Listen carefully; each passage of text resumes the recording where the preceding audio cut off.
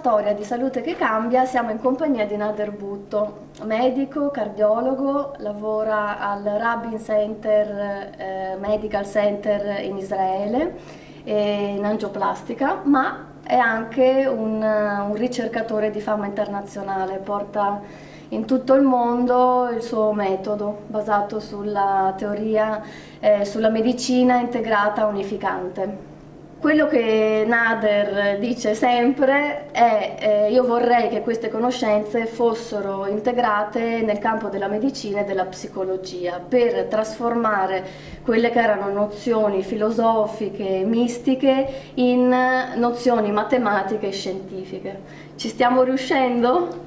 Secondo me sì, secondo me sì perché in realtà è tutto cambiato e la mentalità della gente anche c'è un'apertura incredibile, non è come quando ho cominciato tutto questo negli anni 90 eh, non mi credevano le persone, mi guardavano un po' strano, però io ero sicuro che questa sarà la direzione del futuro. E, qua, e oggi stiamo assistendo veramente un'apertura addirittura nelle, negli ospedali dove aprono eh, reparti di medicina integrativa, addirittura hanno aperto un ospedale per la medicina integrativa.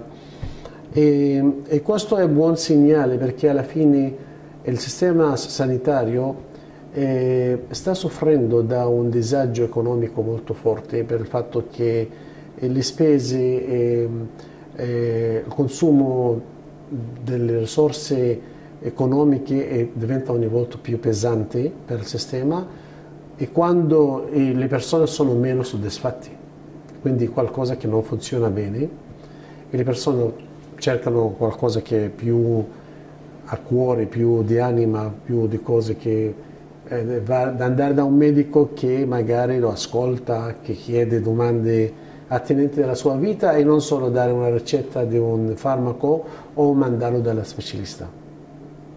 Sì, oltretutto eh, si sa dalle statistiche che aumenta la vita media, ma eh, il numero di patologie, il numero di, di mm, malattie croniche, malattie croniche è un aumento esatto, continuo e aumento. le previsioni che nel mondo occidentale nel 2025 il 50% delle persone saranno, avranno almeno una malattia cronica e questo certamente non importa se, trattia, se tratta di ipertensioni o obesità o diabete o malattie, altre malattie croniche e il fatto che noi non siamo riusciti a curare queste malattie, questo è il motivo che le malattie croniche hanno aumento. Quindi questo già è indicazione che qualcosa che non funziona, non è possibile che siamo riusciti a fare una buona medicina e allo stesso tempo vedere più gente malata. Qualcosa... Tra l'altro il 90% delle patologie sono di origine sconosciuta, per cui Infatti. ci abbiamo capito poco, mm, diciamolo. E quindi la tua curiosità nel voler eh, ricercare, nel certo. voler capire meglio. Infatti ho cominciato a chiedere domande, ma cos'è la malattia? Dove eh, c'entra qui la psiche? Come mai ci siamo trascurato, abbiamo trascurato completamente la psiche? E poi guardando la psicologia ho detto ma qui anche hanno trascurato la spiritualità, dove lo spirito, dove l'anima. Quindi quello che ho fatto in realtà aggiunge, aggiunge, ho aggiunto la dimensione eh, psicologica alla medicina e la dimensione spirituale alla psicologia, per avere un quadro che integra corpo, psiche e anima insieme. Perché io non sono il corpo, io sono un'entità spirituale che sta usando questo corpo per esprimermi e sono venuto a questa vita per fare l'aggiornamento. Quindi il corpo è il mio strumento, ma non sono io, non, non mi identifico con il mio corpo. Chiaro che devo tenerlo in buon, buon stato funzionale, quindi devo mantenere la salute del corpo fisico, però quello che controlla il corpo è l'anima. Quindi se il corpo si ammala perché qualcosa si è andato male nel, nella, nella, nel programma che controlla il corpo, e questo si chiama l'anima e va male quando si creano una dissonanza fra l'anima e il corpo per conflitti psicologici non risolti, non elaborati e non eh, eh, completato il processo di apprendimento, che è la cosa più importante in tutto questo processo, è stato mancato. Sì, io vorrei fare un passetto indietro e introdurre il concetto del campo elettromagnetico, proprio come parlando di informazione, il mm -hmm. concetto di informazione che diciamo è alla base delle nuove teorie sulla medicina. Quindi eh, l'informazione che porta l'anima eh, caratteristica, caratteristica di ognuno che può essere influenzata dalla psiche appunto e che ha eh, delle ripercussioni sul corpo. Quindi giustamente bisogna vedere il percorso dell'informazione. Infatti questa informazione viene eh, presa proprio dall'anima e l'anima come un, non solo un campo elettromagnetico, perché anche il campo elettromagnetico c'è qualcuno sopra che lo controlla e questo si chiama il campo magnetoelettrico. Il campo magnetoelettrico è la somma di tutti i campi elettromagnetici di tutte le cellule, di tutti gli organi, si emergono insieme per formare un unico campo con due poli e questo campo che ha un ordine perché la polarità in diverse parti di questo campo è precisa. Di conseguenza ogni parte del nostro organismo si trova sotto l'influenza di una parte di questa polarità che dà l'input al codice genetico, quale parte del codice genetico sarà espresso e quale parte sarà represso e questo si chiama epigenetica. Quindi l'epigenetica oggi sta entrando ogni volta in più, non sono ancora arrivate a pensare in termini di anima che controlla l'epigenetica. Sono arrivati a capire che ci sono dei mediatori chimici che vengono mandati alla membrana della cellula e questo fanno, mandano dei segnali dentro il citoplasma per arrivare al nucleo e per arrivare al, ai, eh, al DNA per eh, decidere quale parte del codice genetico sarà espresso. Però certamente dietro questi segnali chimici ci sono segnali magnetici che dirigono l'attività elettromagnetica della cellula. Beh, sappiamo che il DNA è un'antenna che riceve e trasmette. Sì, eh, eh, eh, per però cui... antenna non è dire diretta, nel senso che non è direttamente che riceve dal fuori, ma ci sono dei mediatori che arrivano dal fuori, che vanno a agire su sostanze chimiche, che vanno a agire sulla membrana e dalla membrana ci sono delle proteine che, che connettono fra fuori e dentro sì. e queste mandano segnali elettromagnetici al nucleo e al DNA allora lì questi segnali vengono poi captati che provocano mitilazioni, acetilazioni, come se fosse un manico del, della mano, se viene scoperta eh, il manico, Questo allora il DNA, il DNA sì. viene espresso, se si, si copre allora non viene, viene represso. Esatto. Così funziona sulla struttura tridimensionale delle proteine che vengono alterate per l'alterazione del campo magnetico. Quindi la dissonanza dell'informazione, dell la dissonanza di questo campo magnetoelettrico, elettromagnetico delle singole cellule, che quando non è in coerenza con quella del corpo comincia ad attivare una parte che non, non è attinente a quella parte, per esempio una cellula del fegato, che sta ricevendo segnali che non, non appartengono al fegato, comincia a produrre proteine che non sono attinenti alla cellula del fegato allora comincia ad essere cellule malate. E di conseguenza noi andiamo a concentrare i nostri sforzi nella cellula malata senza capire che in realtà la cellula malata è solamente l'ultimo segnale del problema, non è il problema stesso. È la nostra spia che c'è un problema e dobbiamo tornare alla radice, alla causa che ha modificato l'informazione del campo per provocare la manifestazione di un cancro, per esempio. E quindi ritorniamo al conflitto psicologico, sì.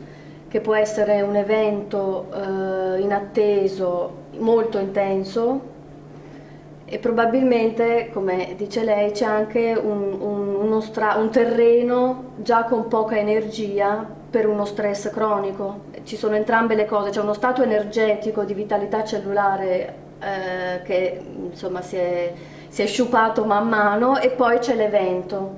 L'evento stesso eh, crea uno stato di stress che consuma l'energia. Mm. Cioè il consumo energetico anche è una conseguenza di uno stress cronico dovuto a una presenza di un, conflitto che crea questa dissonanza. La dissonanza crea una interferenza d'onda distruttiva. Quindi l'onda del, del campo magnetoelettrico va ad, a, a distruggere l'onda del del, delle cellule eh, riducendo la sua vitalità. Quindi la vitalità è la base del funzionamento del sistema difensivo, perché possiamo definire salute come uno stato di risonanza fra il campo, che sarebbe il campo magnetoelettrico, e il corpo fisico, nel quale il sistema difensivo è in grado di affrontare gli stimoli esterni o interni in maniera efficiente per riportare lo stato di omeostasi. E l'omeostasi è uno stato di equilibrio dinamico nel quale il sistema funziona in pieno ordine con le minime spese energetiche. E questa è la cosa giusta, cioè quello che non consuma energia, il minimo consumo energetico per mantenere tutto funzionale, questa è la cosa giusta. Quindi quando c'è invece una dissonanza si consuma energia. Certo, si consuma energia, la presenza di dissonanza da una parte, il consumo energetico definisce la malattia, quindi la malattia viene definita come uno stato di dissonanza fra l'anima e il corpo nel quale il sistema difensivo non è più in grado di affrontare gli stimoli esterni o interni in maniera efficiente per riportare lo stato di miostasi. Quindi abbiamo dissonanza da una parte, abbiamo mancanza di vitalità dall'altra parte, tutti e due insieme porta alla manifestazione della malattia. E questo ha delle conseguenze molto importanti perché se sappiamo questo fatto vuol dire che possiamo anche controllare le persone apparentemente normali, sani, e individuare chi sono quelli che sono a rischio per ammalarsi ancora prima della manifestazione della malattia, perché la discesa energetica non si manifesta come malattia finché non scende sotto una certa soglia, come il telefonino. Il telefonino funziona anche se ti dice al 3% della batteria, ancora funziona normale, però all'improvviso sceso sotto un certo...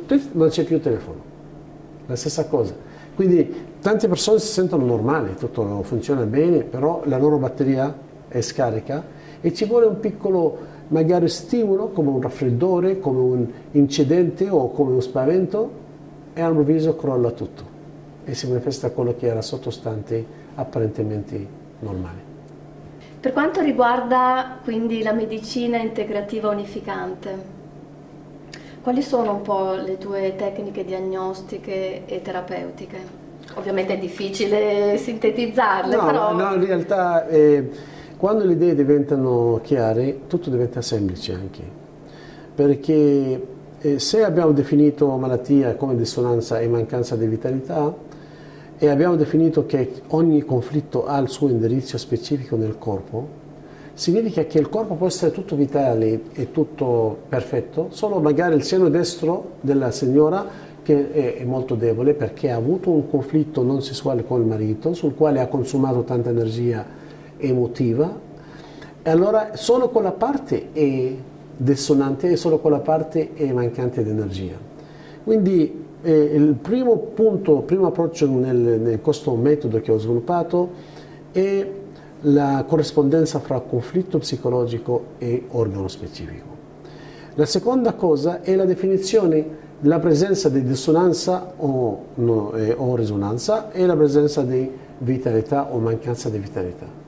È tutto qui, nel senso che nel momento che abbiamo individuato quale parte del corpo è dissonante, questo può essere fatto o attraverso la tecnica d'ammiccamento, che è una tecnica che ogni persona può imparare, che eh, si sviluppa al settimo senso, nel senso che tu magari fa, immagina la persona, si crea lo, eh, la sua immagine questa, creare l'immagine è una specie di creare una realtà nella dimensione energetica e cominciamo ad interagire con questa realtà chiedendo domande e ricevendo risposte. Quindi nell'immaginare la persona, e questo lo faccio anche spesso in ospedale quando mi chiamano d'urgenza, magari in pronto soccorso che c'è l'infarto o c'è un shock cardiogenico, eh, prima di scendere io controllo per vedere veramente se corrisponde o no e tante volte scopro cose completamente diverse da quello che dicono o apparenti perché ti dà un'altra informazione anche senza vedere il paziente. Attraverso il medico che mi sta eh, parlando al telefono si può fare questa diagnosi perché non c'è limite di spazio-tempo. Entriamo, è un altro stato quantico? Sì, entriamo nello, nel, un potenziale quantico potenziale. Contia, contiene tutta questa informazione perché anche in noi c'è questo potenziale quantico. Quindi ho una frequenza di questo genere e posso entrare in, in eh, connessione con diversi stati quantici di altre persone e chiedo le domande e ricevo le risposte attraverso l'ammiccamento degli occhi. Quindi il primo approccio diagnostico... E questo lo possono imparare tutti? Tutti sì, tutti. Come imparare la chitarra, ci sono certi che diventano più bravi e altri meno, dipende quanto magari uno ha questa passione per imparare la chitarra o imparare l'ammiccamento.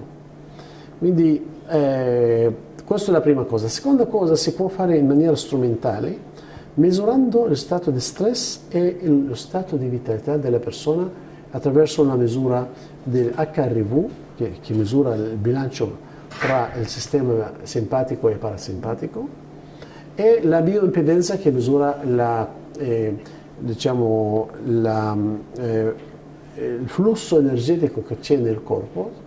Più la persona è vitale, più facilmente l'energia elettrica fluisce nel corpo e così abbiamo definito la persona quanto sia lontano o vicino dallo stato di salute, perché questa è, è la misura, fino al punto che eh, ci sono dei studi scientifici che dimostrano una correlazione fra l'HRV e la mortalità delle persone.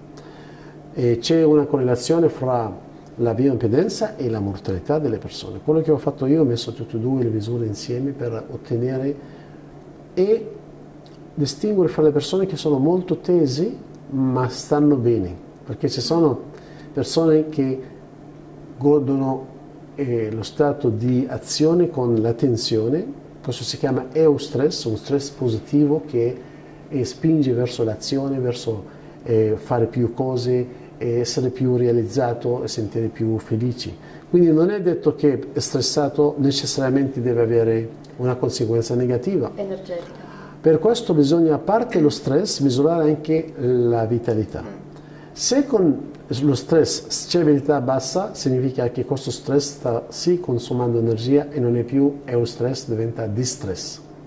Quindi nel definire questo abbiamo definito lo stato di eh, base della persona, possiamo anche misurare i punti terminali di acupuntura per eh, stabilire lo stato di vitalità di organi specifici in maniera che da una parte abbiamo misurato la parte generale, dall'altra parte abbiamo avuto idea di ogni organo come sta, come è messo dal punto di vista energetico, per arrivare alla diagnosi della correlazione fra i conflitti psicologici che hanno portato alla debolezza di certi organi. Per esempio, lo stomaco viene colpito quando c'è un conflitto inaspettato e non digerito, mentre eh, il, la milza quando c'è un conflitto aspettato ma non accettato. L'intestino grasso quando c'è un conflitto paura della critica, mentre l'intestino tenue quando la persona non è in grado di distinguere fra giusto o sbagliato, tutto il tempo in esitazione, in mancanza di decisione. Allora l'intestino tenue è quello che distinguere fra puro e non puro, il puro viene assorbito, il non puro viene eliminato. Quando la persona non sa se la cosa che sta facendo è giusta, sbagliata, pura o non pura, allora l'intestino tenue è quello che reagisce. E così ogni organo specifico ha il suo aspetto psicologico e dietro questo conflitto sembra c'è un potenziale di apprendimento.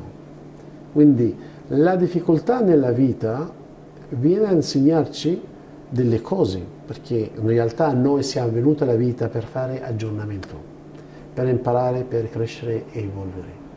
Quindi le difficoltà, problemi, ostacoli nella vita sono dei, dei trigger, sono delle leva che per farci cambiare e per farci evolvere. Perché una persona che sta bene, perché deve fare cambiamento? Non fa nessun cambiamento, sta bene. Ma quando non sta bene, comincia a cercare come uscire fuori da questa situazione e così impara nuove cose e così anche completa il processo di apprendimento e va oltre, dice ho capito, ho finito questo, come una, eh, un, un, esame all'università, appena finito un esame dico va bene adesso vado al prossimo perché devo superare anche il prossimo e anche il prossimo per poi arrivare al diploma. Quindi tutti questi sono dei trigger per spingersi per fare evolvere e crescere. Di conseguenza il nostro approccio verso i problemi cambia eh, completamente, cioè noi non diciamo importante non soffrire, come abbiamo fatto in medicina. Infatti in medicina dice importante non avere mal di testa, non avere ulcera nello stomaco, è importante non eh, essere triste, ed essere depresso, prende questo farmaco, questo, tutto anti, anti, anti, anti, senza chiedere ma perché è arrivato a questo stato? Cosa c'è dietro? Quale potenziale di apprendimento c'è? E diventa poi semplice a sapere che cambiamento la persona deve fare. Perché? In realtà il nostro conflitto viene da un desiderio non compiuto, quindi abbiamo delle aspettative e da queste aspettative ci sono delle delusioni perché non vengono compiuti, che crea la tensione, crea il conflitto no? e questo conflitto poi, siccome Dio è generoso, ci dà lo stesso tipo di conflitto diverse volte finché non impariamo, finché non, non capiamo che questo viene per servirci, non è contro di noi. Quindi eh, il fatto di ripetere questi conflitti viene per il nostro favore. E il processo di apprendimento che c'è dietro questo conflitto in realtà sta nella nostra necessità. Cosa vuol dire? Una persona soffre perché non ha ricevuto amore dalla mamma allora, per aiutare questa persona, dico, fammi per favore una lista di tutte le cose che ti hanno mancato dalla mamma. Cosa non ti ha fatto? Dice un po' d'amore, un po' di apprezzamento, un po' di presenza, un po' di carezza, un po' di abbraccio. Ha fatto questa lista, dico, queste cose che hai scritto sono le cose che deve dare la mamma prima e poi dare ad altre persone dopo. Quindi la tua mamma è il tuo la tua maestra, che ti insegna quello che deve dare con amore. E la persona che dà con amore diventa felice. La felicità dipende completamente dall'amore dato e non dall'amore ricevuto. L'amore ricevuto fa piacere ma non fa felicità. Il piacere è temporaneo, passeggero, perché tutto il tempo dobbiamo correre dietro il piacere. Appena c'è il piacere finito dobbiamo prendere un altro piacere mentre la felicità è permanente, ho fatto qualcosa con amore, ti rimane soprattutto se hai fatto qualcosa di buono e non hai detto a nessuno che hai fatto cosa di buono. Perché questo? Perché se tu dici a qualcuno che hai fatto qualcosa di buono, ti dà un complimento. Nel momento che hai dato il complimento è convertito in un piacere. Nego. Nel momento che c'è il piacere è finito. Mentre hai fatto qualcosa e non hai detto niente a nessuno, ti rimane come felicità e la prende con te. Questo è il proverbio arabo che dice quando arriviamo alla fine del nostro viaggio, questa vita, con noi prendiamo tutte le cose che abbiamo dato agli altri con amore e non prendiamo niente da quello che abbiamo preso per noi stessi. Tutte le cose che abbiamo preso per noi rimangono qui e tutte le cose che abbiamo dato con amore vengono con noi. Senti, ti posso chiedere, ma quando il, il conflitto eh, riguarda la perdita di un caro, la perdita di un figlio, a noi ci sembra innaturale, per mm. esempio, anche se poi succede in natura. Mm però diciamo che è difficile da accettare, da dire è una, è una cosa che devo imparare, serve a me, è arrivato perché mi serve. Mm. È... è difficile, dici. Infatti io ho vissuto questo in casa perché io ho perso una sorella e un fratello. Mm. Ero giovani e la prima aveva tre anni, è morta da una malattia infettiva mia mamma è diventata depressa e piangeva del tutto. Dopo tre anni, siccome Dio non l'ha lasciato così senza prendere cura di lei, le ha fatto perdere un altro figlio. Dopo il secondo figlio si è svegliata e dice, wow, Dio ha dato e Dio ha preso. Ha messo fede dentro il suo cuore e ha detto, questo non è mio figlio. È in prestito da parte di Dio che mi ha dato questo per mettere fede e credenza nel mio Dio. E così ha fatto, è diventata una donna felice. Se non avesse fatto il cambiamento, magari poteva anche perdere un terzo figlio e toccava a me. Poi, meno male che è così. Mi sono salvato perché mia mamma ha imparato la lezione, quindi sono rimasto io meno così. È, è, vero che è una lezione difficile, però è proprio quello che ci insegna della nostra eh, permanenza effimera qui. Cioè, io sono qui di passaggio molto breve, niente mio, dato di fatto quando arrivo al momento della morte non dico ai miei figli, ai figli venite con me, andiamo a morire, cioè, no, voi rimanete, io vado. No? Allora ci rendiamo conto che i nostri figli non sono nostri. E se è così possiamo farlo anche prima. Che cos'è per te eh, salute che cambia? come possiamo aiutare chi ci segue ad acquisire degli atteggiamenti, a fare il primo passo, a fare il primo passo che è il più difficile, perché se uno trova il percorso va, va avanti. Sì, secondo, secondo me la cosa più importante è la consapevolezza che la malattia non è una punizione per qualcosa che è stato fatto male, ma è un segnale, una spia che viene a aiutarci a capire dove ci siamo deviati dal nostro cammino. Quindi di essere cosciente e consapevole che la malattia, ogni segnale, ogni sintomo ti dice qualcosa. L'importante è capire questi sintomi. Chiaro che più il medico e il terapeuta cosciente del rapporto fra questi sintomi e i conflitti, diventa immediato l'intervento e, e anche amplificare la coscienza della persona. La persona cosciente già riesce subito a fare cambiamento perché finché non conosce il costo rapporto allora vai ad agire sul dolore del ginocchio pensando che è importante non avere dolore di ginocchio ma dietro questo dolore c'è un blocco nel meridiano dello stomaco e dietro questo blocco del meridiano dello stomaco un, è stato licenziato dal lavoro in maniera inaspettata e non digerita e se andiamo a indagare questo, risulta che lui non era contento al lavoro e non poteva andare avanti, addirittura voleva lasciare e loro l'hanno, l'hanno preceduto, l'hanno licenziato. Allora ha fatto il conflitto, come dire perché, come? Dico, aspetta un po', ma tu volevi il lavoro? Dice veramente no. E allora non vede che questo è venuto per aiutarti per poter cambiare? E siccome tu non hai osato di cambiare, ti hanno aiutato. È vero, dici, è vero. Wow, non ci ho pensato così. All'improvviso fa senso, cioè, fa una logica nella sua testa e lo accetta molto più facilmente. Dice, veramente, se lo guardo io, non ero contento al lavoro e volevo cambiare, solo non usavo di cambiare. E adesso sono contento veramente che è successo così, e mi hanno licenziato loro e ho cambiato questo tipo di lavoro e ho trovato un altro lavoro che mi sento adesso molto più al mio agio e mi sento anche realizzato.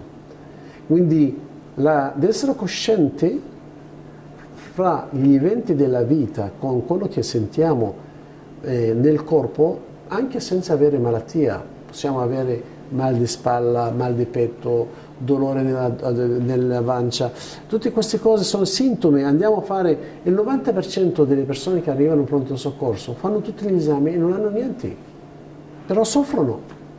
Allora lì perdiamo l'opportunità per intervenire a risolvere, perché dice il medico guarda che non hai niente, ho fatto tutti gli esami, non hai niente. Non ha capito che questa è una spia importante come la spia della benzina che si accende molto prima che la benzina esaurisce. Quindi noi andiamo a trascurare questa spia mettendo un, un cerotto sopra, dire che non hai niente, perché questa spia ti dà fastidio, prendi qualcosa per coprirla, prendi questa pastiglia e non avrai più il dolore del ginocchio.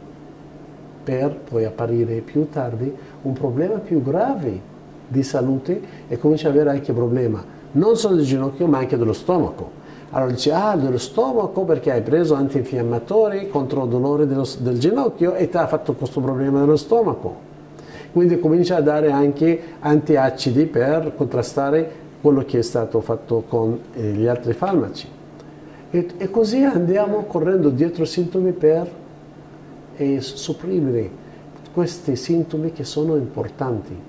Nel dare importanza, nei primi fasi soprattutto, quelle che arrivano al pronto soccorso, che hanno il problema, che hanno il dolore, che hanno il fastidio, lì dobbiamo intervenire per curare queste persone perché già non, sono, non entrano più nella definizione di godere un buon stato di salute che viene definito come stato di risonanza fra eh, possiamo anche tornare alla definizione di salute come stato di benessere completo fisico, psichico e sociale dell'OMS sì. da una parte e definire anche il benessere come stato d'animo nel quale la persona si sente in grado di realizzare i suoi progetti nella vita con un senso d'amore, felicità e libertà.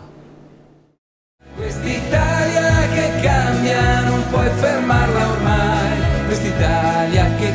siamo noi.